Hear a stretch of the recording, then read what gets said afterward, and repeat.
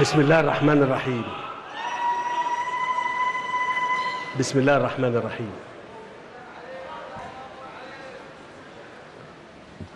كل سنة وأنتم طيبين جميعا وكل التحية وكل الاحترام وكل المحبة ليكم جميعا. الحقيقة النهاردة يوم جميل و... ويوم بيبقى فيه عرفان كتير. بالجهد وبالعمل. والكلام اللي إحنا سمعناه. وحتى شفنا نتائجه خلال ال... الكام سنة أو السنين اللي فاتت يعني أنا قدامي كلمة مكتوبة هقراها لكم برضه عشان ما لكن عايز أقول لكم حاجة وإحنا بنحبكم جدا جدا يعني صحيح يعني هو هو إحنا لينا مين غيركم يعني؟ لا صحيح صحيح. يعني ليا مين غير شعب مصر يعني؟ بيحمينا كلنا. آه ف ادوني فرصة أتكلم معاكم شوية. ادوني فرصة أتكلم معاكم شوية. زي ما إحنا سمعنا كده إن اتقال على قيمة العمل ونتيجته. والحقيقة يعني أنا بيبقى عندي فرصة إن أنا أشوف دول كتير. وب... وعايز أتعلم. وأعلم نفسي و... وكمان أتكلم معاكم وأنقل لكم.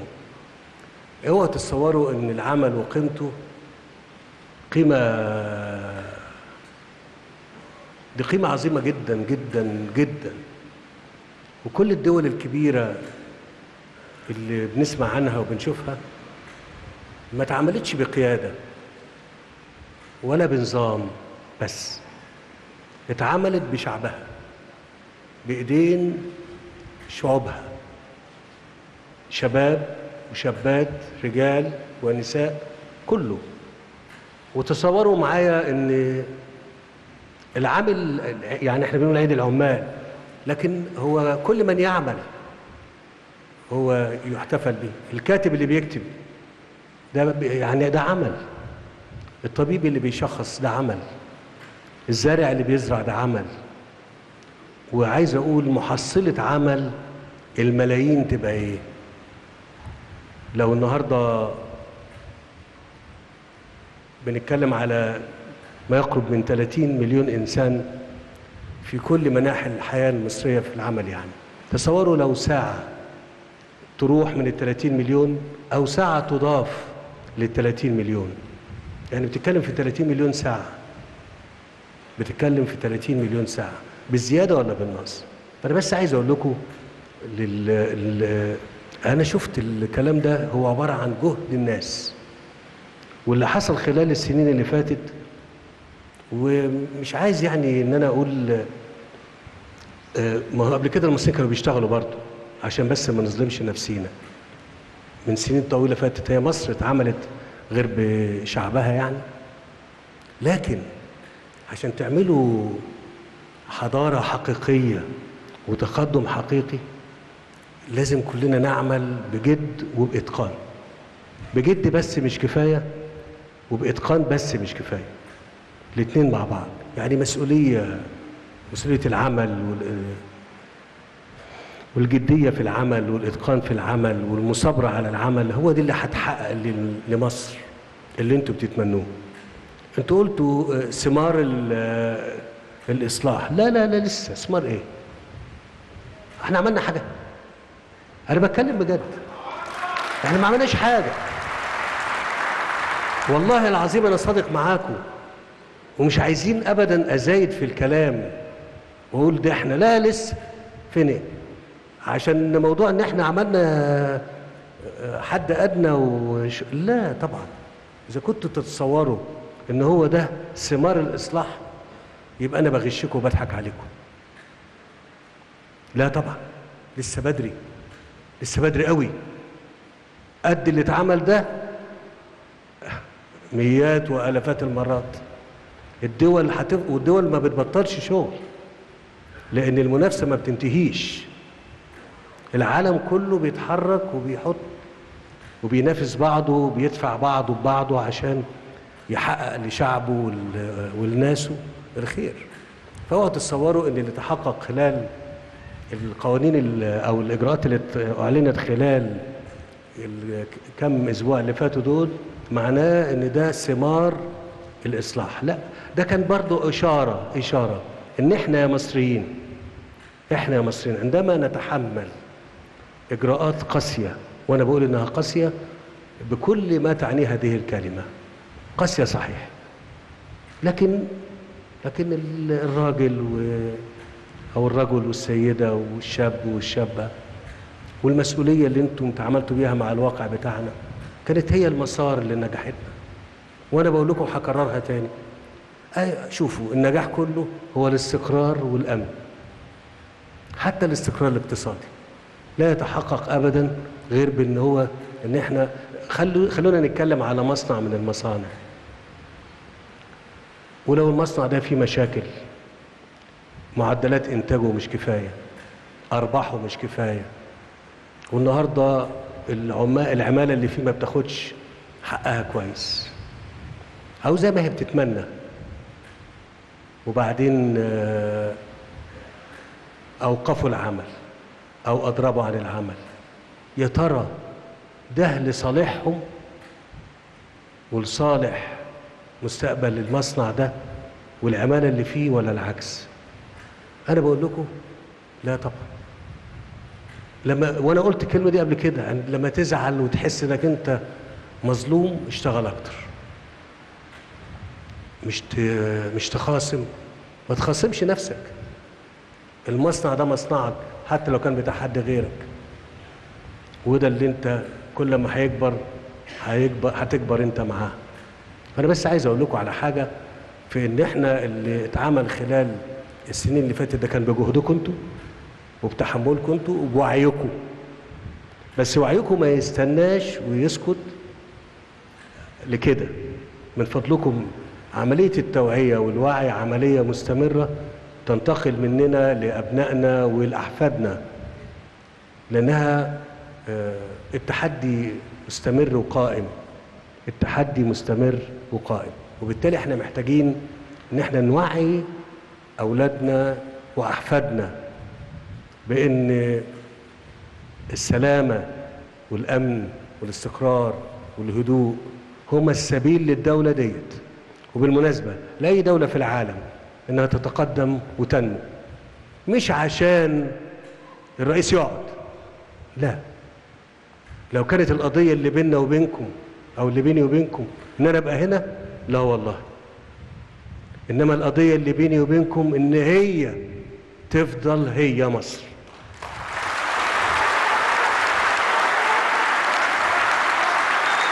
وهي عمرها ما هتبقى مصر. عمرها ما هتبقى مصر. بيكوا كلكم اسمعوا كلامي. اسمعوا كلامي بس. وخدوا الكلام ده ودايما تحفظوه وتحفظوه لأبنائكم ولأحفادكم وتعيشوا بيه. محدش مخلد في مكانه غير البلد وأهلها. فلازم دايما عينينا وحرصنا عليها وعلى سلامتها. ونزولكم في أي في أي انتخابات كفيل. بإنك تحققوا اللي أنتوا عايزينه. اللي أنتوا عايزينه يبقى مكاني هنا. انزلوا له هيجي. اسمعوا بس الكلام اسمعوا الكلام. أنا بقول لكم حاجة أنتوا التجربة بتاعت الاستفتاء اللي فاتت إيه؟ الدنيا كلها كانت بتتكلم عليه بغض النظر عن أي حاجة. يعني بغض النظر عن رضا, رضا أو عدم الرضا قبول أو عدم القبول. بالمطلق ما فيش حاجة بالمطلق تبقى مية في المية. ما تخ... يعني ما فيش في الوجود اللي إحنا فيه ده حاجة عليها إجماع كامل مش ممكن. فلا في ناس هتقول آه وناس تقول لأ. وده صح ونقبله. وده صح لأنها وجهة نظر ونقبلها. لكن اللي أصح منه إن الناس لما تنزل تحط كلمتها هتفرض رأيها وإرادتها. ومحدش أبدا يقدر يغير ده. وبالمناسبة هو كان في كلام كتير قبل الموضوع دوت. بمجرد ما نزلت الناس ديت بغض النظر على يعني الناس سكتت ليه؟ الناس بره يعني سكتوا ليه؟ طب أنا ببقى سعيد بكده؟ آه مش عشاني. عشان إرادتنا. أنا ببقى سعيد مش عشاني أنا. ولو أنتوا تهيألكم ان أنا ابقى سعيد بكده يعني يبقى يعني تقديركم ليا مش في مكانه. أنا سعيد بيكم أنتوا سعيد ليكم أنتوا سعيد بيكم أنتوا سعيد بيكم أنتوا يعني خدوا مني الكلام. وانتوا دايما ما تفرحوش وما تتمنوش غير الأمان والسلام والتقدم لبلادكم. وده ما بيجيش. ما بيجيش ابدا غير بالعمل اللي إحنا النهارده بنحتفل بيه. العدد اللي اللي يعني جه النهارده عدد كويس بس مش كفاية. و و وال والشريحة اللي اللي اتعرضت دلوقتي جميلة بس مش كفاية. لا إحنا عايزين نبقى أكتر من كده بكتير. عشان نقول للناس في كل قطاع من قطاعات الدولة إحنا شايفينكم وبنشكركم. في الجامعة ممكن نبقى نشكر كده. في الجامعة في قطاعات الصحة نشكر كده. في قطاعات الإنتاج الأخرى نشكر كده. في القطاع الخاص نشكر في الزراعة نشكر كده. ويجوا هنا الناس ونشوفهم كلنا ونسقف لهم ونقول لهم متشكرين على اللي أنتوا عملتوه. فاللي أنا عايز أقوله إن بيكوا يا مصريين. بوعيكم وصبركم وتحملكم وعملكم. اللي اتحقق اللي فات ده خطوة من ألف خطوة. ده خطوة من ألف خطوة. ولازم نفضل نجري ونشتغل نجري ونشتغل ونبني ونعمر. ما نخربش ما نهدش ما نضيعش ما نقتلش ما نفسدش. هتبقى مصر حاجة تانية. في. في وقت مش كتير قوي مش كتير قوي. فأنا كل التحية ليكم كل التقدير ليكم كل الامتنان ليكم. وأنا شايف ال ال وزير القطاع الأعمال قدامي. ف إحنا بنقعد نمسك في الموضوعات بتاعت مصر. موضوع موضوع بتفاصيل كتير قوي. عشان نفهم ليه إحنا ما نجحناش في ده وليه إحنا نجحنا في ده. الطبيعي ان إحنا في مناسبة زي كده نقول كلام جميل ومعنوي وقوي وكده وده طبعا مهم ونقوله لكن مهم كمان ان إحنا نتوقف مع أنفسنا ونشوف يا ترى يعني لما يتقال النهارده آآ في الكلمتين اللي اتقالوا ما يخص مثلا قطاع زي الغزل والنسيج والأسمنت والحديد وكده. خلي بالكم خلي بالكم هو القطاع ده ما نجحش ليه قبل كده؟ ما نجحش ليه؟ قطاع الأدوية ما نجحش ليه؟ مين اللي بدأ الأول؟ القطاع العام ولا القطاع الخاص اللي جديد عليه؟ مين الأول؟ مين اللي سبق مين؟ اسمعوا كلامي بس. اسمعوا لو سمحتوا مين اللي سبق مين؟ لا ده القطاع العام هو اللي كان سابق هو اللي بدأ هو اللي كان موجود في مصر على مدى 65 سنة ولا أكتر أو أقل من كده. لكن طب الإصلاح اللي إحنا بنعمله وأنا بقول الكلام ده لأن أنا يعني إحنا فعلا هنعمل إصلاح لهذا الموضوع بس الإصلاح اللي هتعمله الدولة جزء كبير جدا منه يمكن يمكن اللي هتعمله الدولة من إجراءات ما تساويش 50% من المطلوب لنجاحه. مش مطلوب منه 50% يعني الدولة مش هتحقق منه نجاح باللي هتعمله بإنها تعمل معدات تجيب معدات جديدة من أحدث ما يكون وإنها تدرب الناس وإنها تعمل المنشآت المطلوبة. كل ده كلام جميل يبقى شيء. المسؤولية مسؤولية كل بني آدم كل عامل. موجود في مصنعه كل عامل موجود في مصنعه وإلا ما كانش اللي فات حصل له اللي حصل له. ما كانش كده. فأنا بقول الكلام ده دلوقتي لأن إحنا في خطتنا رايحين لده. وأنا شفت كل ال يعني كل ال الأوضاع اللي موجودة هناك. ومحدش هيضيع. إنما اسمحوا لنا بان إحنا نعمل منظومة قبل للنجاح. منظومة قبل إيه؟ ليه للنجاح؟ لأن هي لو ما لو ما نجحتش يبقى إحنا الفلوس دي حطيناها في الأرض. ما كان في تجارب سابقة. الله. يعني مصانع الأسمنت كانت موجودة معانا مع القطاع العام قبل كده. مش دي تجربتنا؟ وبعدين ما نجحتش معانا أو تدهورت معانا.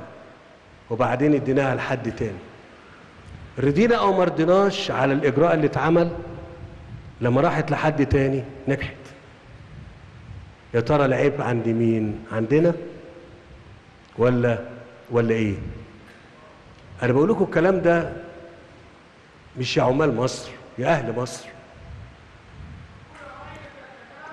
لا لا لا اسمع مش حكم ولا حاجة. أنا بس بحاول أكون معاكم موضوعي في تناول. ده حياتنا يا جماعة اللي إحنا بنتكلم فيها. اللي إحنا بنتكلم فيها دي حياتنا.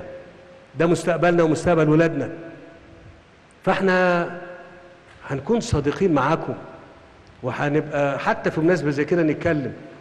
آه إحنا بنجري ونعمل. وبنعمل إصلاح وتكلفة الإصلاح بتاع قطاع واحد زي قطاع الغزل والنسيج اللي بنتكلم عليه ده. الخطوة بتاعته أقول الرقم يعني يا هشام ولا ما اقولش؟ أقول يعني اتفضل استريح. يعني عايز أقول لكم يعني على الأقل على الأقل قطاع واحد في بتاع غزل المحله بنتكلم في أكتر من 20 مليار جنيه. ده غير ثمن الأرض والمرافق والكلام ده اللي هو موجود بالفعل. فإحنا مش هن إيه مش هندفع فيه كتير. لكن في المنشآت نفسها يمكن نعمل تطوير وتأهيل. أنا سبقت ال- الوزير هشام رئيس قطاع وزير قطاع الأعمال في الموضوع ده إن أنا اتكلمت فيه يعني أرجو إني ما أكونش يعني خدت حقه في الكلام. لكن حبيت أقول له إن أنا معاك وأنتوا تبقوا معاه في الإصلاح اللي إحنا هنعمله. نفس الكلام للحديد والصلب نفس الكلام لأي قطاع آخر إحنا متحركين فيه. جزء كبير منه مش جزء كبير ده الغا... ده المطلق بتاعه أو العظيم بتاعه مش الفلوس اللي إحنا هندفعها. ده كان أي حد ممكن يدفعها. هي إدارة العمل إدارة العمل والقائمين على العمل ده. كل إنسان جوه العمل من أول الفرد اللي واقف على مدخل المصنع على البوابات لغاية المدير مسؤول عن نجاح مصنعه. لأن هو نجاحه ده منشأة لما تنجح يبقى اللي قائمين عليها يعيشوا كويس.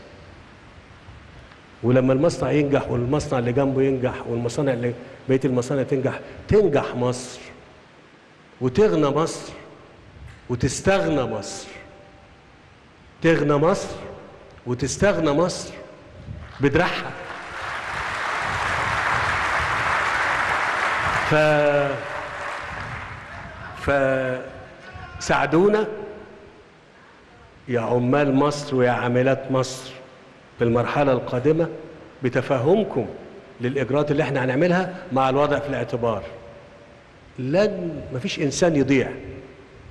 مفيش ما إحنا دولة بنحترم نفسنا وبنحترم أهلنا وأنتم أهلنا. فمفيش إنسان هيضيع. مفيش كلام من ده. لكن وإحنا بنعمل ده نستوعبها بسرعة. ونبذل أقصى أقصى طاقة. يا ترى يعني يعني إحنا سمعنا كتير قوي بسم الله الرحمن الرحيم. وقل اعملوا فسار الله عملكم ورسوله. اوعى تكونوا فاكرين العمل الصلاة بس. لا. ده وانت ساق عربيتك في الشارع ده عمل انت بتعمله. يا ترى بقى بتركن في الممنوع ولا بترمي ورقة مش عارف إيه؟ حاجات كتير قوي. كل إجراء إحنا بنعمله هو عمل. ربنا يشوفه ويحاسبنا عليه بالخير أو بالخير إن شاء الله. أنا أرجع أقوله تاني نحن في مرحلة قادمة وأنا بقول الكلام ده بس مش حتى للدولة كقطاع عام لا أنا بقول حتى للقطاع الخاص. نحن لدينا في مصر فرصة. إحنا سوقنا 100 مليون اللي هو إحنا عدد سكاننا يا ترى كل قمصاننا وكل أنا بتكلم في حاجات بسيطة قوي يعني. القميص والبنطلون والجرافطة و... وأي حاجة أخرى يعني. يا ترى إحنا حاجتنا بنطلعها إحنا؟ مستلزمات الإنتاج اللي إحنا بنستوردها بالمليارات. بالمليارات إيه مش الجنيهات الدولارات. دي ما تنفعش دراسات جدوى خالصة وأنا قلت الكلام ده من أكتر من سنة. دراسات جدوى خالصة يا دوبك رجال الأعمال اللي شغالين في قطاع معين بدل ما يجيب 90% 70% 60% من مستلزمات إنتاجه من الخارج يطلع 20% منهم يعملوا جوه مصر. مش محتاجة دراسة. في الغالب يعني في الغالب. أنا بقول الكلام دوت لأن إحنا زي ما قلت كده خلال ال- الفترة اللي جاية مهتمين بكل حاجة فعلا بالتعليم اللي اتكلموا عليه بالصحة اللي إحنا ماشيين فيها كل الكلام دوت. وبمناسبه الصحة شوف أنا لما بشوف أي حد شغال في في حاجة في في ببص لشكله. أول ما بلاقي وزنه زيادة بقول ده ما بيشتغلش. أول ما ألاقي وزنه زيادة أقول ما بيشتغلش. اللي بيشتغل ما فيش مجال. ما فيش مجال. صحيح. فبالمناسبة قمة الصحة في إن إحنا نخلي بالنا من نفسنا شوية. أنا بضحك معاكم يا. أنا بضحك معاكم ربنا يكرمكم. ربنا يكرمكم. أنا طولت عليكم. خليني بقى أقول الكلمتين دول عشان ما نضيعش عليكم اليوم. مرة تانية بسم الله الرحمن الرحيم. بسم الله الرحمن الرحيم. شعب مصر العظيم الأخوة والأخوات عمال مصر الشرفاء. أتحدث إليكم اليوم احتفالا بعيد العمال. وأتوجه إليكم جميعا في أرجاء مصر العزيزة بتحية اعتزاز لجهودكم المتميزة وسواعدكم المنتجة على طريق العمل والعطاء والإنجاز. وتعزيز مسيرة التنمية والبناء. تحية تقدير إليكم عمال مصر. وقاعدة هذا الوطن للانطلاق نحو تغيير الواقع وبناء حاضر ومستقبل نتطلع إليه جميعا. وأقول لكم وبكل صدق إنه لا يوجد معيار أدق من العمل للتعرف على معدن الإنسان الذي تقدر قيمته بما يؤديه من خدمة وعمل لأمته. كركيزة أساسية لبناء المجتمع فجميع الحضارات الإنسانية قامت بسواعد العما- العمال الذين أسهموا بجهودهم وفكرهم في إعلاء أوطانهم. حتى صار عيد العمال رمزا للعطاء والتضحية. عمال مصر الشرفاء إن حرص الدولة على الاحتفال سنويا بعيد العمال يجسد في جوهره في جوهره احترامها العميق لما يقدمه العمال من إسهام في شتى ميادين الإنتاج ويؤكد دورهم الوطني المهم والرئيسي في دفع مسيرة البناء والتطوير. وبهذه المناسبة فإننا نؤكد أن العامل المصري هو المحور الحقيقي للتنمية. وتعزيز مسيرة اقتصادنا الوطني. واعلموا أن الوطن يتطلع دائما إلى ثمرة جهدكم جهدكم وعملكم الدؤوب والمخلص. ولقد ضرب المصريون عبر العصور المثل في إعلاء قيمة العمل في شتى المجالات. من منطلق حرصهم على بناء على بناء وطن طابعه الكفاح الشريف والنية المخلصة. وباتت الإنجازات المتلاحقة والمشروعات العملاقة التي تحققت في مصر على مدار السنوات الأخيرة لا سيما في مجالات البنية الأساسية والتجمعات العمرانية الجديدة والطاقة وغيرها من المجالات. خلينا نتوقف عند ال- الفقرة الصغيرة ديت.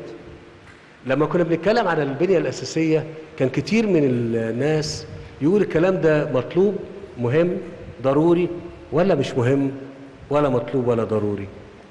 إحنا لما عملنا البرنامج ده والخطة دي واتحركنا فيها مع الوقت ابتدينا يعني كلنا أنا بتكلم على كتلة المصريين كلها ابتدينا نفهم إن ما كانش ممكن ابدا نتحرك لقدام إلا إذا كان لدينا بنية أساسية متطورة وهو مش طرف. يعني ما كانش حاجة زيادة عن اللزوم. ده كان لابد ولو كناش عملنا كده إحنا لما بنروح كل حتة دلوقتي ونتكلم مع الناس بن... أول حاجة بنعرفهم لهم إحنا جاهزين. تعالوا لدينا بنية أساسية متطورة. لو النهاردة بنتكلم على استثمارات للقطاع الخاص بنقول لهم عايز كهرباء موجود عايز طرق موجود عايز موانئ ومطارات موجود عايز آه، آه، كهرباء وغاز موجود. كل المطلوب لإنجاح العمل آه، جاهز إن إحنا ننطلق يعني. فعايز أقول إن هو كان لابد إن إحنا نعمله حتى لو كان تكلفته علينا كتير يعني. والطاقة وغيرها من المجالات شاهدا على أصالة الإبداع وقوة الإرادة المصرية للتقدم وبناء مستقبل أفضل وتكوين اقتصاد قومي قوي وراسخ وقاعدة صناعية حديثة تكون بمثابة بمثابة بمثابة بمثابة قاطرة لهذا الاقتصاد كما أكدت للجميع. كما أكدت للجميع سلامة المسيرة التنموية وصدق توجهاتها وسعيها الجاد لتحقيق الواقع الأفضل والحياة الكريمة لكل مواطن. الأخوة والأخوات لقد عانت مصر خلال السنوات الماضية من تحديات جسيمة ذات أبعاد اقتصادية واجتماعية وسياسية وأمنية. ول- ولعلكم كنتم تدركون أنه لا سبيل للتغلب على تلك التحديات سوى بالعمل الجاد والمستمر. والصبر على النتائج فالأمم لا تبنى إلا بمجهودات أبنائها المخلصين وليس بالأماني والشعارات. وأكد لكم أنه لولا برنامج الإصلاح الاقتصادي الشامل الذي تحمله شعب مصر لما كان من الممكن أبدا وضع حلول جذرية لمشكلات الاقتصاد المصري المزمنة والتي تراكمت وتفاقمت عبر سنوات وعقود طويلة دون حلول حقيقية. وبرضه هقف عند النقطة دي. إحنا اتكلمنا في المواضيع دي كتير لكن بأكدها لكم تاني. هل اللي قبل مننا ما كانوش يقدروا يعملوا اللي إحنا عملناه؟ لا يقدروا. طب ما عملوش ليه؟ كانوا خايفين أو متحسبين بلاش خايفين إن رد الفعل ورد الفعل مهم. وديكوا شايفين الدول عاملة إزاي؟ رد الفعل مهم. والقياده اللي بتبقى موجودة بتقدر هذا هذه الردود ردود الأفعال قبل ما تاخد القرار. اذا المسار بتاع النجاح معروف وخطواته ممكنة ولكن بشرط اللي أنا قلته قبل كده وبقوله لكم تاني أن يتحمل المصريين هذا المسار. وأنتم تحملتوه والنتائج بفضل الله سبحانه وتعالى أفضل مما كنا وهنستمر في ذلك. وهو ما عملت الدولة على مواجهته بإجراءات علمية شاملة حتى وإن كانت قاسية. ولقد بدأت بشائر الإصلاح الاقتصادي تنعكس بالأرقام على تحقيق معدلات إيجابية للنمو كما تكلل التوجه الإصلاحي للدولة بتدشين عقد اجتماعي جديد وليس أدل على ذلك من حزمة الإجراءات التي تم الإعلان عنها مؤخرا وشملت ضمن أمور أخرى زيادة الأجور لجميع العاملين في الدولة وزيادة الحد الأدنى للمعاشات وإقرار علاوة دورية سنوية وعلاوة, استثنائية. وهي القرارات التي تؤكد بما لا يدع مجالا للشك عبور مصر لمرحلة عصيبة من تاريخها وتعكس تقدير الدولة لحجم التضحيات التي تحملها شعب مصر العظيم. ولسه ولسه لسه أكتر من كده بكتير بفضل الله سبحانه وتعالى. كل ما هننجح أكتر كل ما هنعمل إصلاح مالي لأحوال الناس. كل ما الدولة تتقدم و يعني تبقى الأموال أكتر طب هنوديها فين؟ للناس. مش هتحط في حتة تانية للناس. وتعكس تقدير الدولة لحجم التضحيات التي تحملها شعب مصر العظيم. الذي كان شريكا في الإصلاح فالمواطن المصري هو البطل الحقيقي في إنجاح برنامج الإصلاح الاقتصادي وده كلمة حقيقية مئة في المئة. النجاح اللي اتعمل أنتم أصحابه في إنجاح برنامج الإصلاح الاقتصادي وتحمل الكثير من أجل عودة الثقة في الاقتصاد المصري. ووضعه على الطريق السليم ليس فقط للجيل الحالي ولكن للأجيال القادمة من أولادنا وأحفادنا. لا لا لا. لا والله. لا والله. لا والله. لا لا لا لا. اسمعوا كلامي بس. والله العظيم أي نجاح تحقق بكم أنتم لا لا لا. الإرادة السياسية موجودة عبر العصور. اللي تحقق ده إن المصريين وعيهم كان حاضر ومستعدين للتحمل وتحملوا. وأنا بقر بالواقع ده وبقوله للتاريخ. أكتر من كده بيكو أعظم من كده بيكو مش بحد تاني. شعب مصر العظيم إننا نجد أنفسنا اليوم أقوى عزما وأشد تصميما على المضي طب هخلص الكلمتين ونسمع. على المضي معا نحو المستقبل بخطوات واثقة مستقرة في ظل مؤسسات وطنية راسخة. فلقد صنعتم منذ أيام ملحمة وطنية جديدة سيظل يتذكرها تاريخ مصر المعاصر بكل فخر واعتزاز ولقد أبهرتم العالم كعادتكم بخروجكم بالملايين من كل الفئات لممارسة حقكم الدستوري بالمشاركة في الاستفتاء على التعديلات الدستورية. أقول لكم كلمة هتكون معبرة. أنتم جبرتم خاطري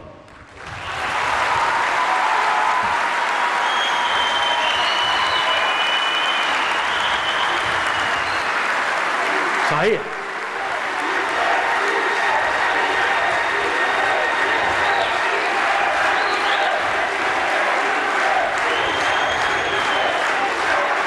شكرا جزيلا. تفضل تفضل. شكرا شكرا. مهما عملنا ومهما الإعلام عمل. أنتوا اللي عملتوه هو ده كان الرد الباهر فأنتم جبرتوا خاطري وخاطر مصر. وذلك في مشهد حضاري يضاف إلى كل المشاهد الوطنية في حلقات التاريخ. طبعا بيكو طبعا.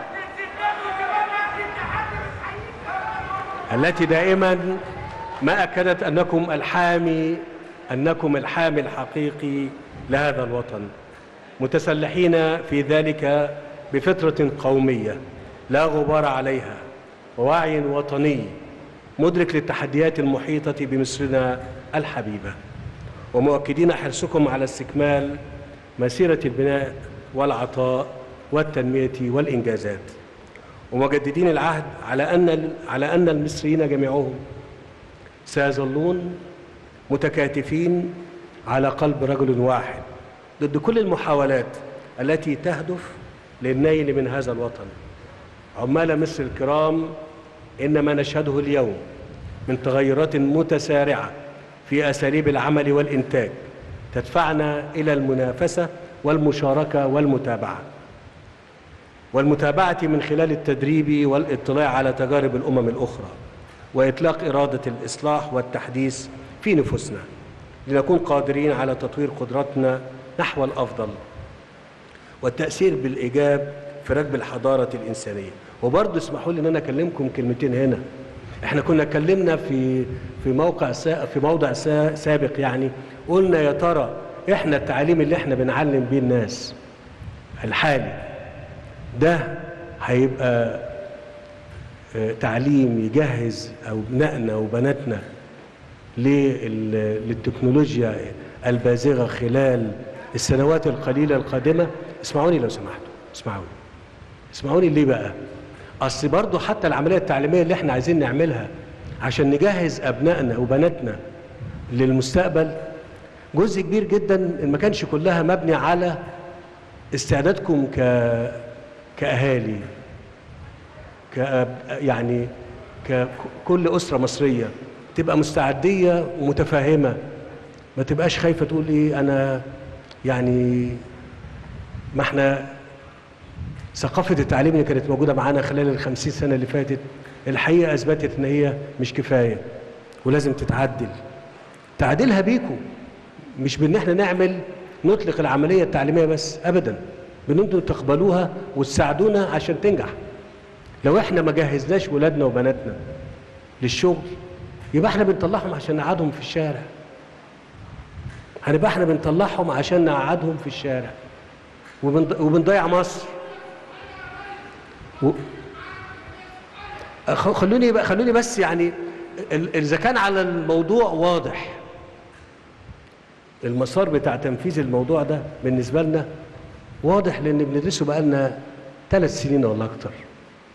لكن نجحنا فيه بيكم نجحنا بيه في هذا المسار بأن أنتم تتفهموا أب وأم لكل شاب وشابة.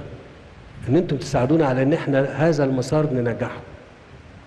ممكن يبقى عندنا مراكز تدريب مهني كتير لكن يا ترى وأنا اتكلمت في النقطة دي قبل كده يا ترى أنتم هتبقوا مستعدين؟ عايزينهم برضو معاه ليسانس وبكالوريوس بس وده مش بطال يعني. ولا ممكن النهارده يروح مكان آخر يتعلم فيه ونوفر وقت عشان نجهزه لل لل- للي إحنا أو لل- للصناعات وال والمطالب العمل اللي إحنا بنتكلم فيها. فأنا بس بالنقطة دي بقولها لكم ليه؟ حتى نجهز أبنائنا يعني لما تيجي تقولي إحنا بنخرج 600 700 ألف كل سنة يعني يعني هل هيبقى في مكان ل 100 ألف آه، خريج حقوق؟ أنا بسألكم. أنا مش بسألكم أنتوا انكم أنتوا قاعدين لا بسألكم بسال المصريين اللي بيسمعوني. هل هينفع إن يبقى عندي 100 ألف بكالوريوس تجارة؟ طب فين؟ مكانهم فين؟ لو ليه مكان خلاص مع خير. لكن لابد إن إحنا نكون مدركين ويبقى ده اللي يعني يقلق يقلقنا. ولما يقلقنا يبقى الإعلام يشتغل فيه والمسلسلات تشتغل فيه والمقالات تتكلم فيه عشان نشكل رأي عام داعم للفكرة. إنما أبقى أنا بعمل عايز أعمل أغير المسار وبص ألاقي مثلا من غير قصد يعني. يبقى اللغة لغة أخرى. مش هننفع. فأنا بس بقول لكم تاني نحن خلال العشرة 15 سنة جايين لل- للي موجود وللي قادم. لابد أن نجهز أبنائنا وبناتنا لل- للعمل ده. ولن ينجح هذا الأمر إلا بيكم كلكم معانا زي ما اللي قبل كده نجح بيكم. لازم نجهز أبنائنا وبناتنا لسوق العمل ومطالب العمل القادمة.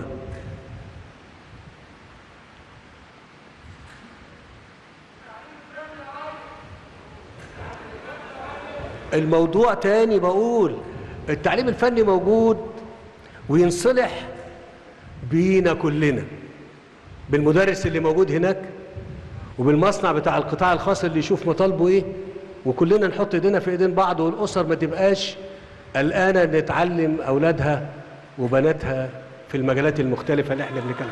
اسمعوا مني بس الكلام. اسمعوا بس اسمعوا بس اسمعوا بس. يعني خدوا مني الكلام وفكروا فيه بالراحة. مع بعضنا كده كل الأمور تمشي. كل الأمور تمشي. أي قطاع من القطاعات اللي بتتكلموا عليه أي قطاع من القطاعات اللي أنتوا بتتكلموا عليها. سواء أنا تحدثت عنها أو ما تحدثت. أنتوا ذكرتوها ولا ما ذكرتوهاش؟ نعم. الإيه؟ شوف أنا هقول لك حاجة. شوف أنا هقول لك على حاجة ليكوا كلكم من فضلك لو سمحت. اسمعوا بس الكلام. عارف النقل العام ما نجحش في القاهرة ليه؟ ليه؟ وأوبر نجح ليه؟ ليه؟ ليه أوبر نجح والنقل العام ما نجحش؟ ليه؟ يا ترى اسمع بقى لو سمحت اسمعوا الكلام بتاعي يا جماعة. وبعدين أنا هزعل كده بصراحة. أنتوا عايزين كلام جد ولا عايزين كلام إيه؟ ما نجحش ليه؟ ان إحنا مش جادين ما نجحش ليه؟ ان إحنا بنديره بسوء اسمعوا الكلام. ما نجحش ليه؟ لو سمحت. لو سمحت. عايز تسمع ولا عايز تتكلم؟ القطاع ده ما نجحش ليه؟ هو وغيره. هو بس قطاع ال- النقل العام في القاهرة. طب والسكة الحديد ما نجحتش ليه؟ طب والموانئ ما نجحتش ليه؟ طب والمصانع ما نجحتش ليه؟ مش انت السبب ومش أنا السبب. كلنا مع بعض السبب في الفشل وفي النجاح.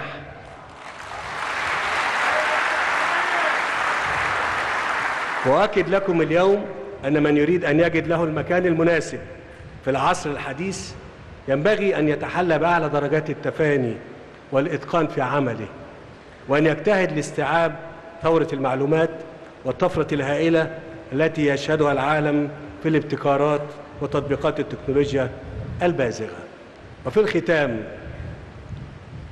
أذكركم بأن العمل هو الفضيلة التي تفصل بين الحلم والواقع وأن مصر لتمضي قدما بكل السبل في تجسيد هذا الشعار.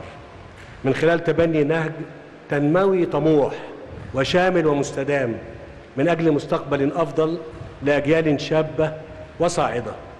ونحن على ثقة تامة بأننا بالإرادة والعزم قادرون بعون الله قادرون بعون الله تعالى على تحقيق رؤيتنا المضيئة التي نحلم بها لهذا الوطن. فتحية لكل عامل من أجل الوطن في جميع المواقع. فأنتم الركيزة المتينة لهذا المجتمع وسبيله الرئيسي للبقاء والاستمرار وقوته الدافعة نحو النمو والازدهار. وأؤكد لكم أنكم ستجدونني دائما إلى جانبكم منحازا لقضاياكم وداعما لحقوقكم وأجدد لكم عميق اعتزازي بكم وبعطائكم وبعزيمتكم وبعطائكم وعزيمتكم الصادقة وأهنئكم جميعا. بعيدكم وكل عام وأنتم بخير. وتحيا مصر تحيا مصر تحيا مصر. والسلام عليكم ورحمة الله وبركاته. متشكرين وكل سنة وأنتم طيبين. كل سنة وأنتم طيبين.